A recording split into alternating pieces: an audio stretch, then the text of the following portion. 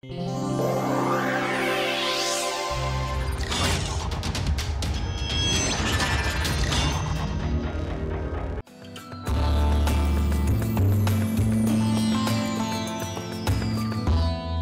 will continue to analyze uh, a single linear operator. We looked at the uh, matrix uh, formulation for diagonalizability. We will now look at uh, a formulation in terms of subspaces, okay, not uh, matrices. So, we will discuss the notion of direct sum decompositions and projection operators.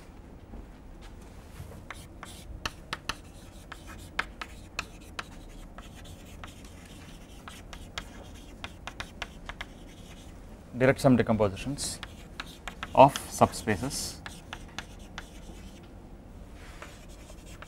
and uh, the relationship with projections.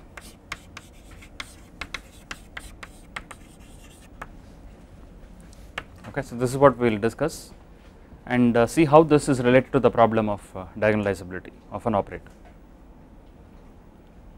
Okay, uh, we will first discuss the notion of direct sum decompositions. We need the notion of independent subspaces.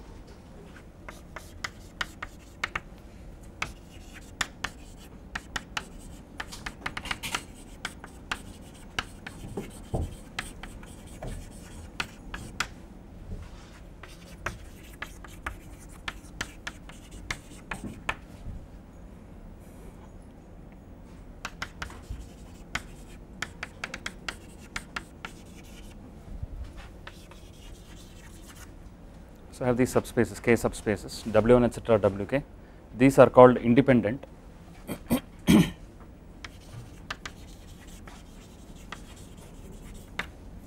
These are called independent subspaces if the following implication holds. If w1 plus w2 plus etc plus wk equal to 0 with uh, small wi belonging to capital Wi. If this equation has 0 as the only solution.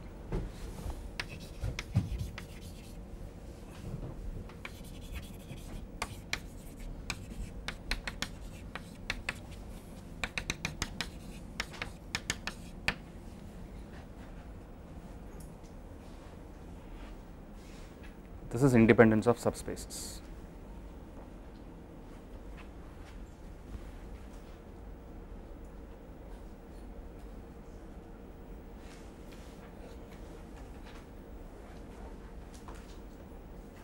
I take any linear combination of vectors in w1, w2 etc wk equate that to 0 then uh, each coefficient each scalar must be 0 that is what this means. Okay? Subspaces are called independent. If this condition is satisfied. Example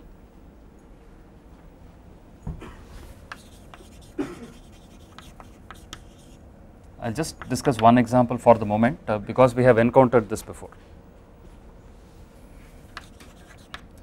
Let uh, T be an operator on uh, V and W1, W2 etc. Wk be the eigenspaces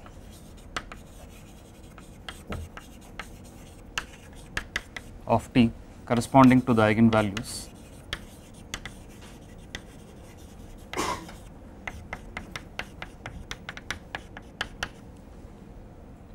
these are distinct. I have k distinct eigenvalues of the operator T. Look at the eigenspaces. Then we have seen before that these eigenspaces are independent.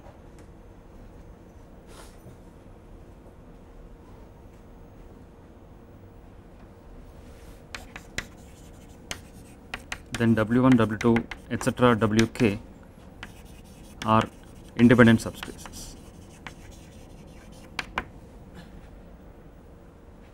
okay, we have seen this uh, result. In fact, we have even seen something uh, more. If uh, B1 is a basis for W1, B2 basis for W2 etc., BK is a basis for WK, then B1 union B2 etc., union BK is a basis for the sum, for the sum W, okay. Okay, this is one example of independent subspaces, maybe one more example. Take B to be u1, u2, etc., u un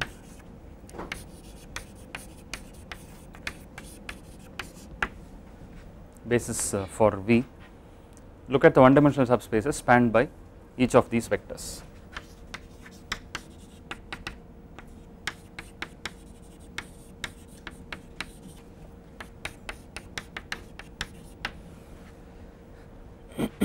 then this is obviously a set of uh, independent subspaces.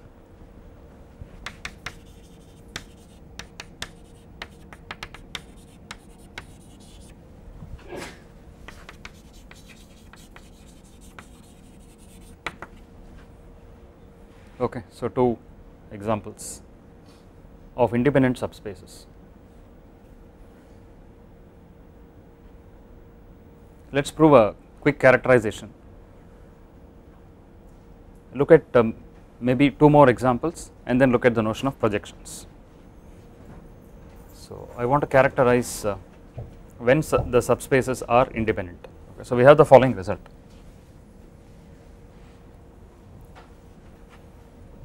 Okay, before uh, I state that result, let us also make the following observation.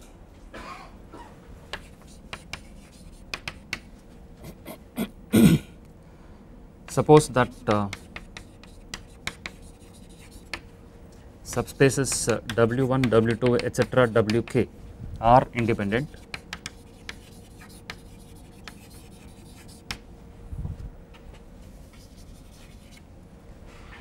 I have independent subspaces. I look at the sum of these subspaces. I will call that W.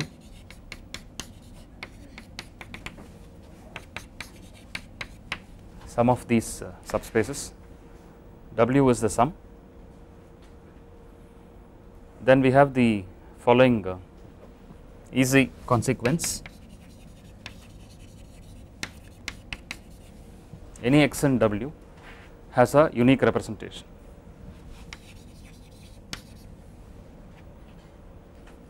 Any x and W has a unique representation.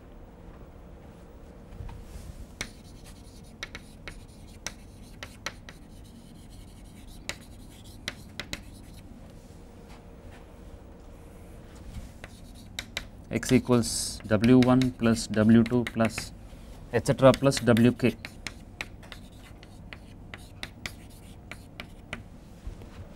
Every x and W has a unique representation in this form. So, in some sense uh, this is easy to see. Given this in some sense you can think of W1 etc Wk as uh, coordinates of a vector in the sum. Okay? You can associate unique numbers to the vector x belonging to W you can think of W1 the coefficient of W1 as the first coordinate coefficient of W2 as the second coordinate etc. Okay, why is this unique? If x can be written as uh, z1 plus z2 etc plus zk with uh, zi in wi if there is another representation we will show that these two are the same. If that happens then equate uh, the right hand side you will get, get w1 minus z1 plus uh, etc wk minus zk equals 0 w is a subspace so this belongs to so i will call it y1 plus y2 plus etc plus yk equal to 0 with uh, yi in wi some difference etc they belong to the subspace now this uh, equation tells me that each of the terms must be 0 because the subspaces are independent.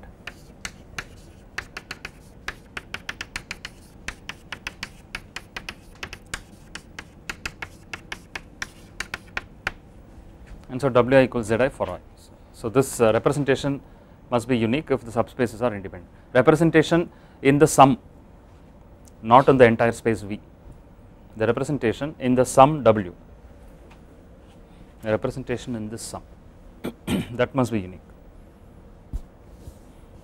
Okay, let us look at uh, a characterization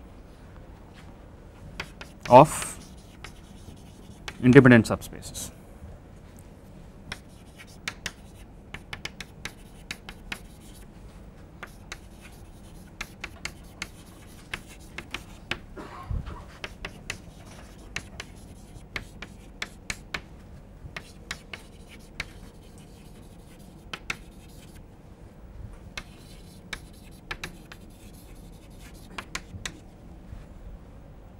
Write down uh, two statements that are equivalent to the subspaces being independent. The first uh, statement is W1 etc. Wk are independent.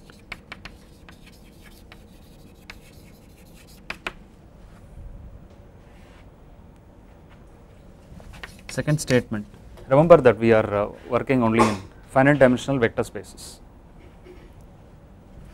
For every j 2 less than or equal to j less than or equal to k, the following uh, condition holds. You look at wj intersection w1 plus w2 etc plus wj minus 1 look at the sum of for every j look at the sum of w1 etc w j minus 1 you take the intersection with wj that must be singleton 0 this is the second condition.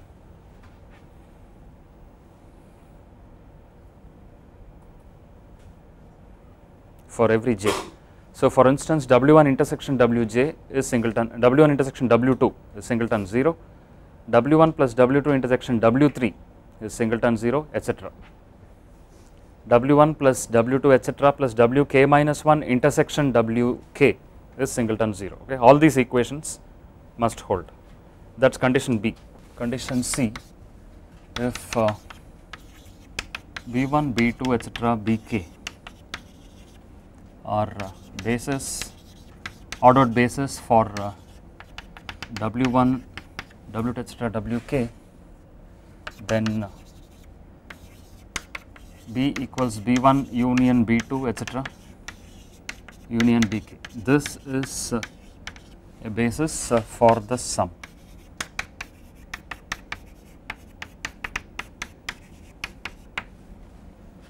These statements are equivalent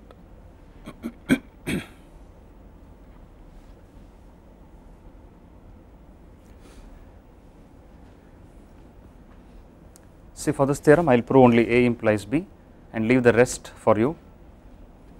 The rest of the statements are almost uh, tautologies. Okay, so I am not going to prove those, I will just prove A implies B.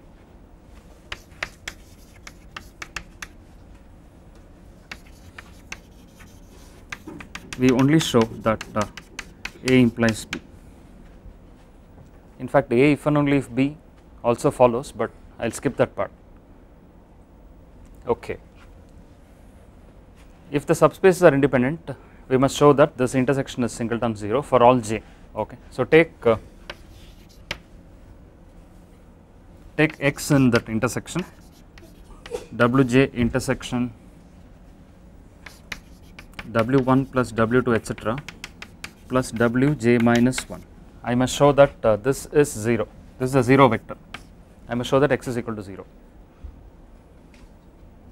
This means what? Uh, I can write x as for one thing it is in this uh, subspace. So, I can write x as uh, let us say x1 plus x2 etc x j minus 1 because it belongs to this subspace. xi belongs to wi 1 less than or equal to i less than or equal to j minus 1.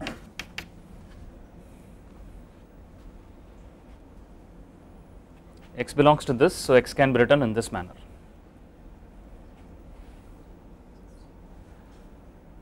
Yes, okay. Are we through? Look at, uh, bring this to the left hand side. This is x1 uh, plus x2 plus etc. x j minus 1 plus minus x equals 0 with the first vector in w1, second vector in w2 etc j minus 1th vector is in wj minus 1 this is now in wj I will make use of that. This x minus x that belongs to wj so I have a combination here equated to 0 I am assuming condition A assuming the subspaces are independent so it follows that each must be 0 what I only want is that x is 0 each must be 0 so this must be 0 So, x is 0 that is what I wanted to show if x is in this intersection I have shown that x is 0. So, if the subspaces are independent then these intersections are trivial. As I mentioned the others uh, other equivalences are uh, exercises okay for you. Let us now look at uh, maybe a couple of more examples of independent subspaces. Uh, let us consider, so I am looking at example 3. Let us say I have uh, the vector space to be R n cross n, the set of all uh, square matrices with real entries. Let me take uh, W to be the subspace of all A such that uh, A equals A transpose, the subspace of symmetric matrices, the subspace of all real symmetric matrices. I will call it W1 and uh, define W2 as the set of all A in V such that A equals minus A transpose skew symmetric matrices.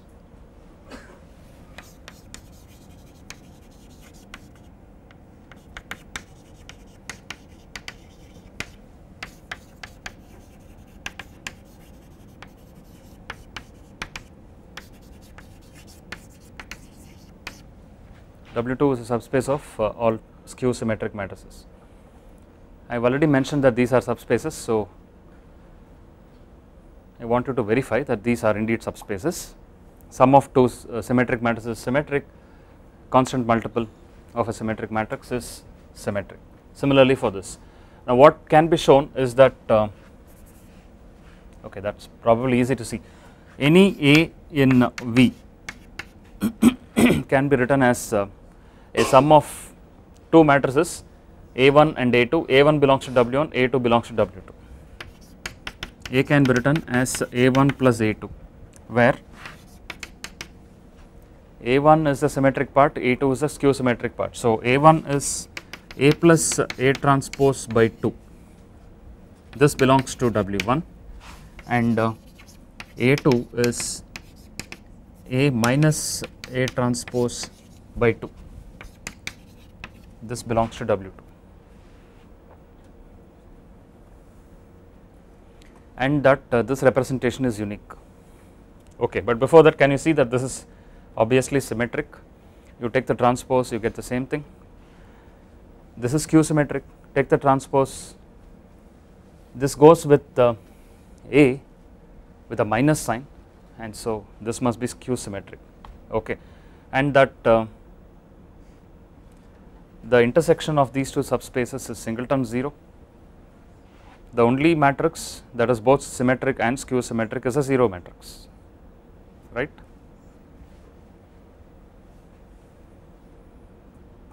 The only matrix that is both symmetric and skew symmetric is the 0 matrix. So, W intersection W2 is uh, singleton 0.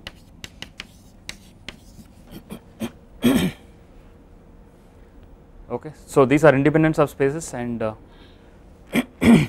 any any vector in V has a unique representation. So, this is uh, really this condition uh, for j equals 2 second condition that the intersection is singleton 0 okay finally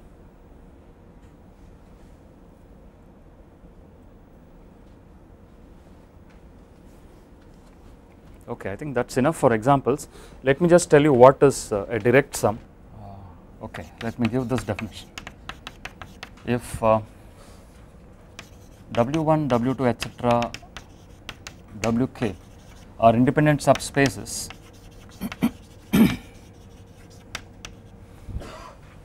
if these are independent subspaces if I denote w as the sum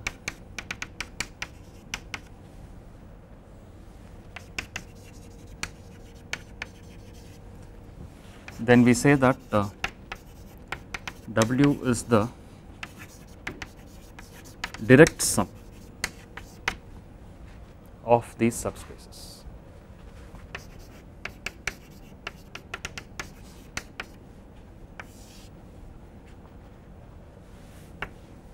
we say that W is a direct sum of these uh, subspaces sometimes it is called the interior direct sum.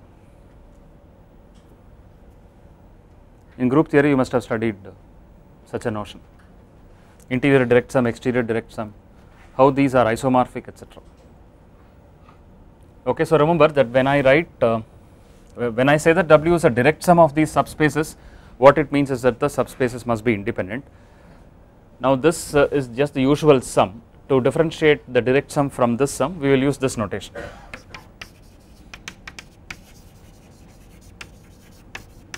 This is denoted by W equals W1 plus with a circle you must have seen this in group theory etc wk plus inside a circle. So, when I write w in this manner it means that w1 w2 etc wk are independent subspaces this is the direct sum.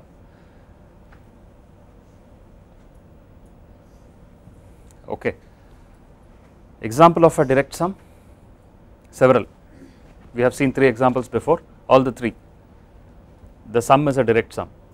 I will give one uh, final example for direct sum. Suppose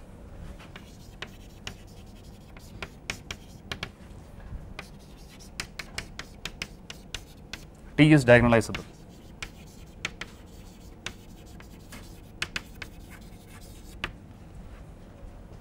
Suppose T is a diagonalizable operator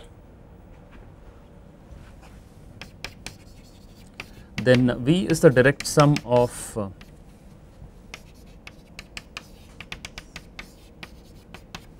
the eigenspaces.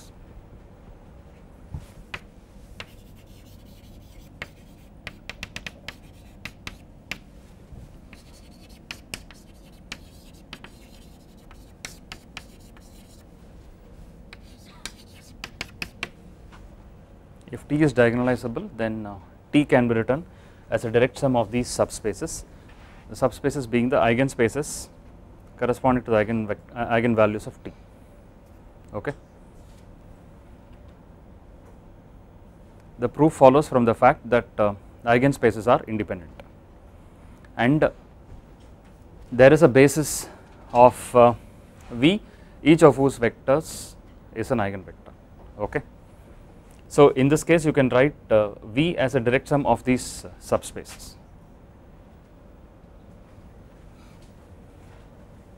Okay, so this will be, so you can already see that uh, there is a connection from diagonalizability to direct sum sub uh, direct sum of subspaces.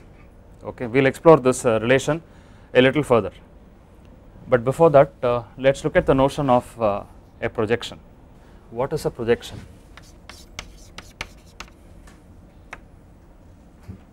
An operator E on a vector space V is called uh, a projection. It's called a projection P I O N. It's called a projection if uh, E square equals E. This is uh, called idempotence.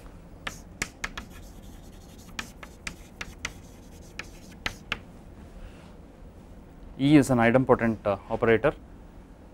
The other name is projection because there is a geometric uh, connotation. Any idempotent operator will be called a projection. Okay. The geometry cannot be invoked immediately. We will have to wait uh, for orthogonal projections, but let us look at some simple properties of projections. Immediate example of a projection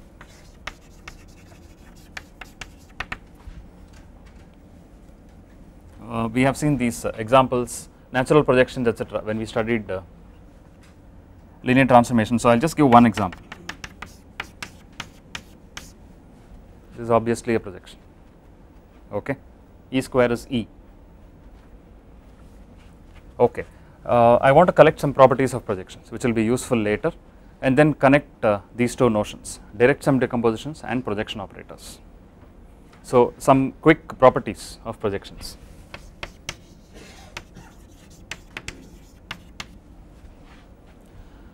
The first property is that uh, projection acts like uh, the identity map on its subspace and uh, 0 on its nulls on its range space.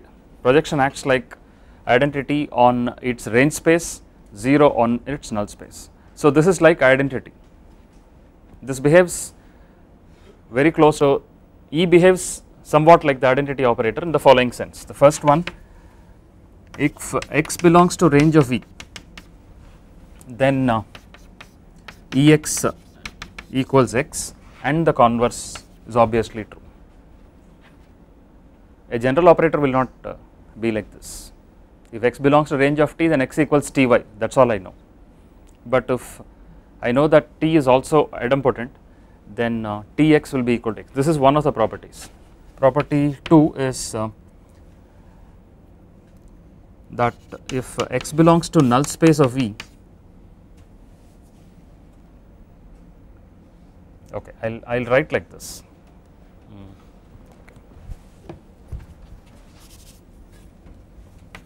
Null space of E is range of I minus E.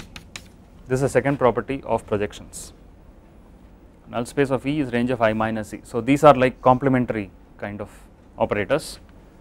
Uh, property 3 V can be written as uh, range of E direct sum null space of E. Property 3 range and null space of a projection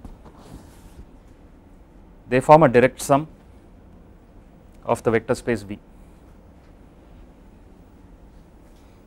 In this case we say that they are complementary subspaces. If I have two subspaces uh, W1 and W2 such that W1 direct sum W2 is V then W1 W2 are called complementary subspaces. So, if W1 and W2 are independent subspaces then they are complementary subspaces. Again see that this will not hold for a general operator T.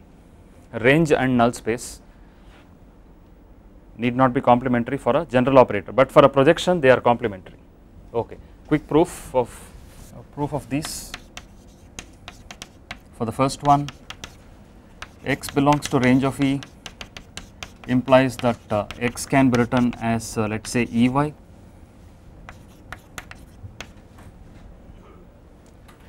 operate uh, E on both sides. So, Ex uh, is uh, E of uh, Ey that is E square y but E square is E. So, this is Ey, Ey is x again. So, Ex equals x. If x belongs to range of E then Ex equals x. Is that clear? Ex is E square y, but E square is E because E is an idempotent operator. So, this is Ey, go back to this equation, you get x. So, if x belongs to range of E, we have shown that uh, Ex equals x, converse is obvious. If uh, x is equal to Ex, then x obviously belongs to the range of E, okay. If x equals Ex, then x belongs to range of E. That is trivial. So, you have both ways implication that is property 1. Property 2 null space of V is range of I minus Z. Let x belong to null space of E. This implies uh, Ex equal to 0.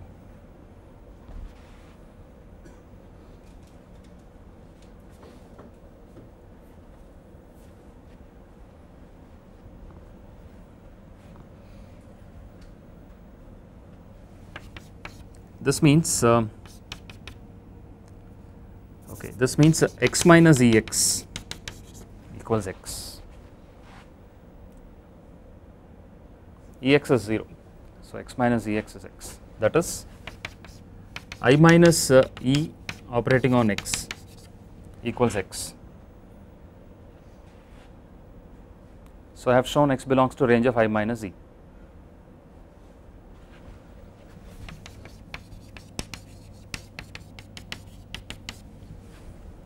I have written x as uh, i minus E of some y in particular x. So, if it is the null space of E then it must be the range of I minus Z and this whole process can be reversed.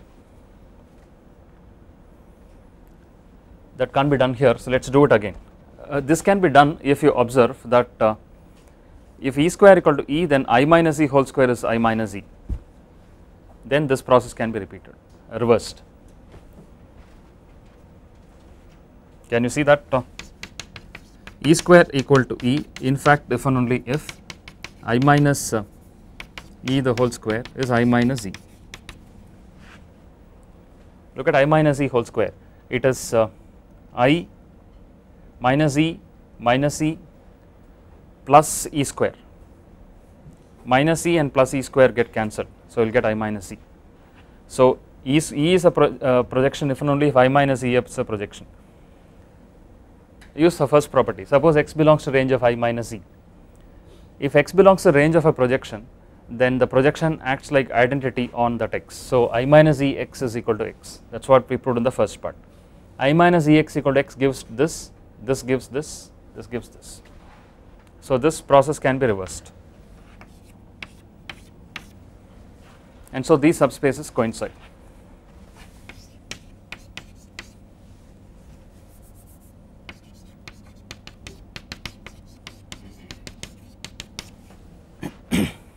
These subspaces coincide.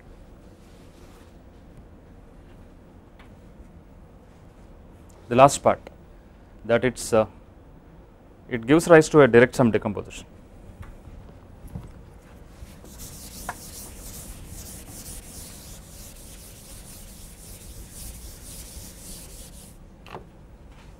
Yeah, maybe we must make the following observation that we have not used uh, in any of these results uh, the dimension of the vector space. So, this holds even for uh, an infinite dimensional vector space.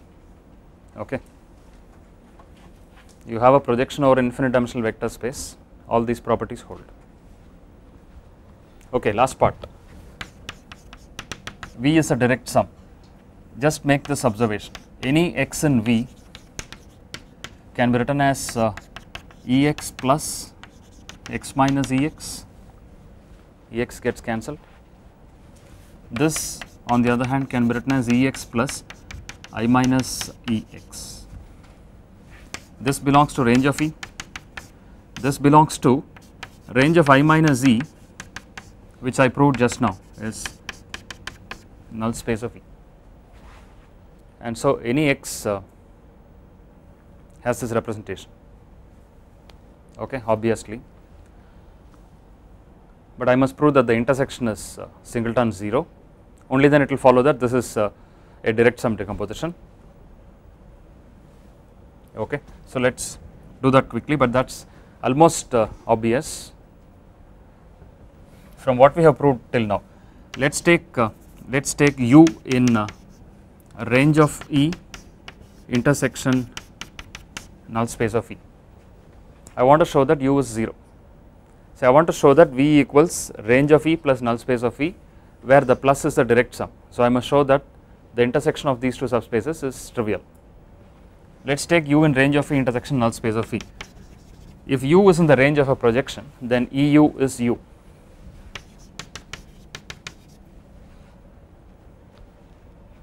Anything in the range the operator uh, acts like identity on that uh, vector but u belongs to null space of E. So, EU is 0, u also belongs to null space of E. So, EU is 0. So, if u belongs to this intersection u must be 0 and so this is the direct sum. So, V can be written as range of E plus null space of V where this plus is now the direct sum. Okay. Okay, so it has uh, it has some nice uh, property that uh, there is a if you have a projection then there is a direct sum decomposition. If you have a single projection, if you have several projections, can we relate them to several subspace? Okay, that's a question we'll answer. The answer is yes, but before I uh, uh, prove that uh, res result, there is another property which we must observe for a projection. Every projection is diagonalizable. it is almost easy to, so I will state it as property 4, it is really property 4. If uh, E is a projection, then E is diagonalizable.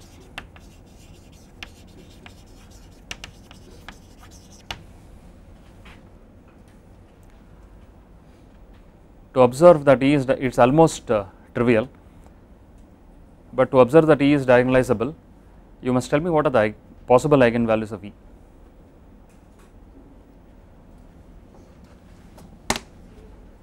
0 and 1 okay.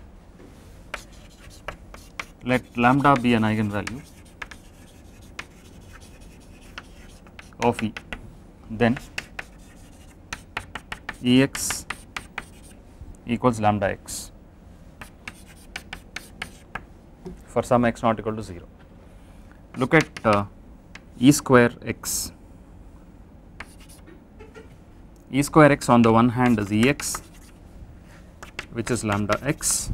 On the other hand from this equation it is lambda Ex but Ex is lambda x again lambda square x.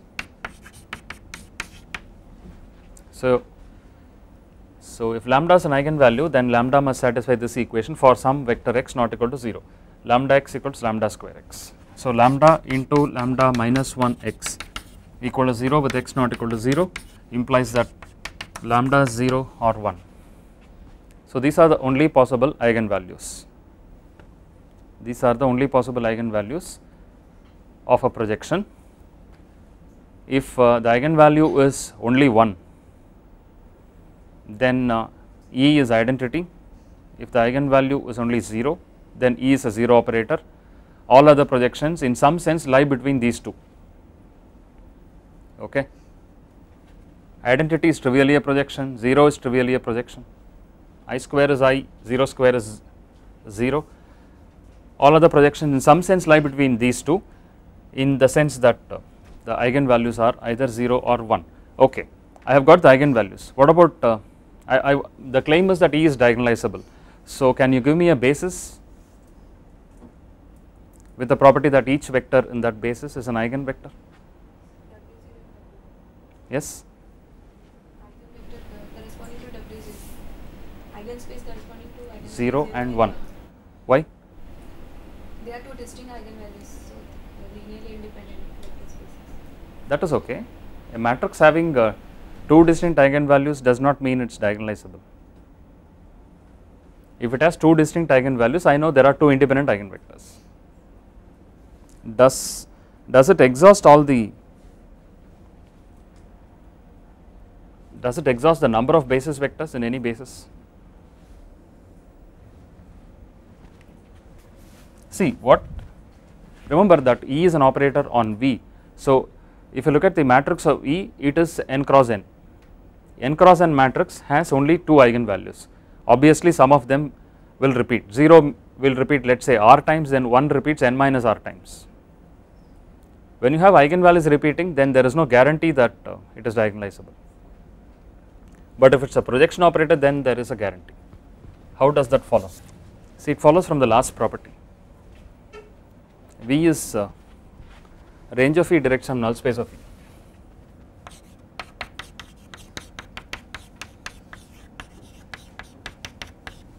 Take a basis for range of E. I will call it B1, U1, U2, etc., UR, and the basis for null space of E.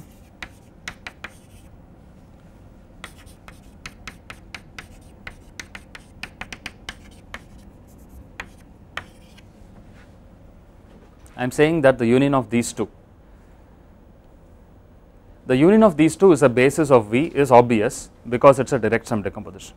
But more importantly I must show that this each vector here, each vector here they are eigenvectors. That is the most important thing right. The fact that the union is a basis is a consequence of the fact that W and W2 are independent subspaces, these two are independent subspaces. We have seen this before, but does it follow that this is each of the vectors here is an eigenvector? What is eigenvalue?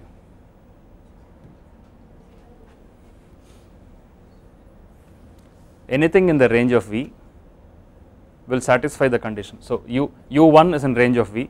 So, EU1 is U1 that is EU1 is 1 times U1. So, anything in the range of V is an eigenvector corresponding to the eigenvalue 1. Anything in uh, the null space of V is an eigenvector corresponding to the eigenvalue 0. So, this uh, is a basis in fact any basis. This is more than what one could ask for. You take any basis for the range space, any basis for the null space, take that union, that will be a basis with the property that uh, each vector in that is an eigenvector. Okay. Not just one basis, each of whose vectors is an eigenvector, any basis for range of V union any basis for null space of V, that union will form a basis each of whose vectors is an eigenvector. Is that clear? So, here E u1 is u1. So, this holds for 1 less than or equal to i less than or equal to r and uh, E u i is 0 r plus 1 less than or equal to i less than or equal to n. So, u i u r plus 1 etc. u n these are eigenvectors corresponding to the eigenvalue 0 these are eigenvectors corresponding to the eigenvalue 1 their union is a basis and so E is diagonalizable.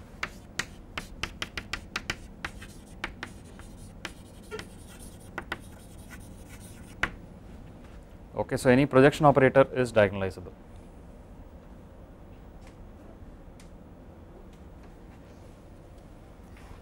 How are projections related to direct sum decompositions? Okay, I will maybe just state that theorem and prove it next time.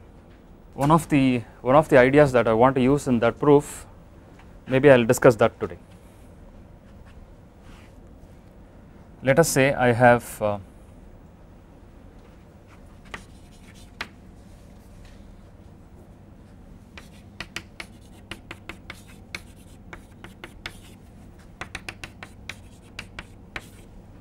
let us say I have V as a direct sum decomposition in this manner. W1, W2, etc., Wk are independent subspaces.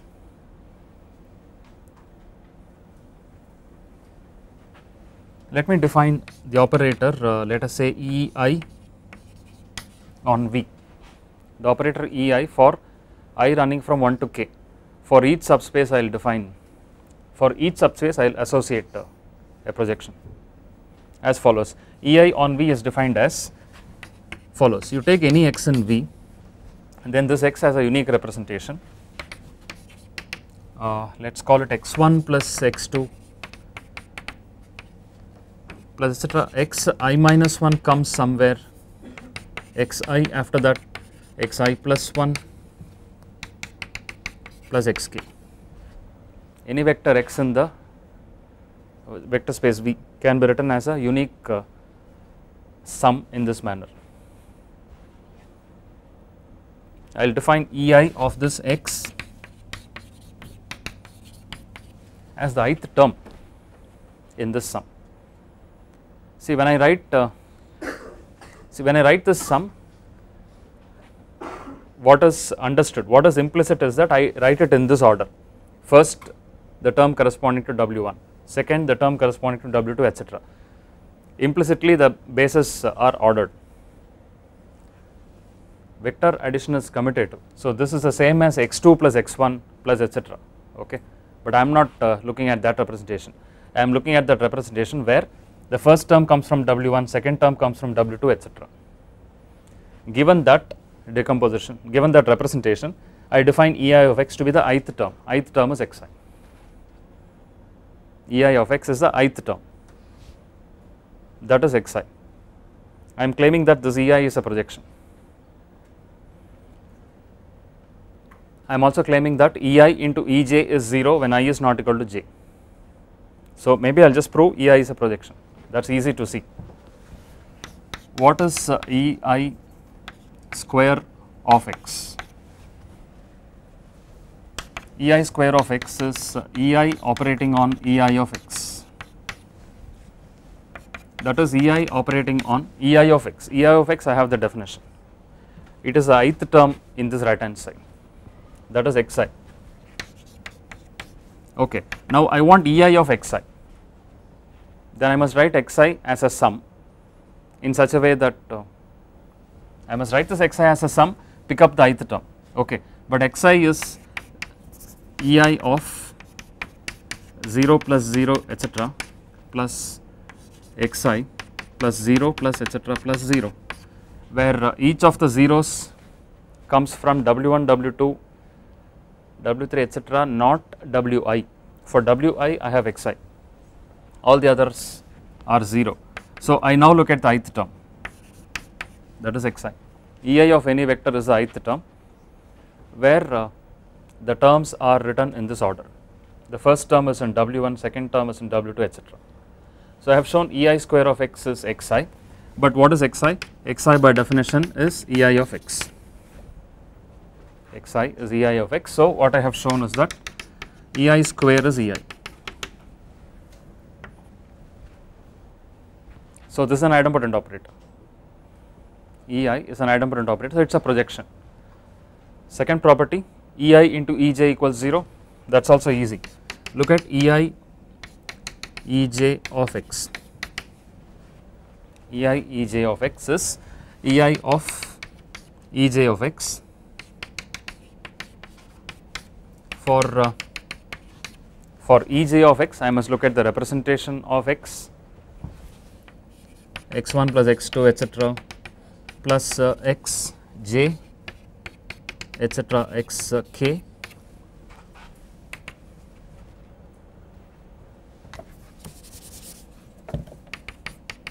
this is ei ej of this. Ej of any vector x is the jth term. Ei of xj it is a jth term so it is xj but ei of xj I must look at the ith term that is obviously 0. So just to emphasize it is ei of 0 plus 0 etc ith term is 0 this is the ith term. J comes somewhere here. I am assuming i less than j. J could be less than i. There is no problem. I comes somewhere here. J comes somewhere here. All other terms are 0 I want the ith term. The ith term is 0 so this is 0 assuming i is not equal to j i equal to j we have proved already. Ei square is ei if i is not equal to j then ei ej is the 0 operator. Okay? We will prove another property. That range of uh, ei is wi and the fact that sum of these ei's is the identity operator. Identity operator is the sum of e1 e2 etc ek okay and then also prove a converse that I will do in the next lecture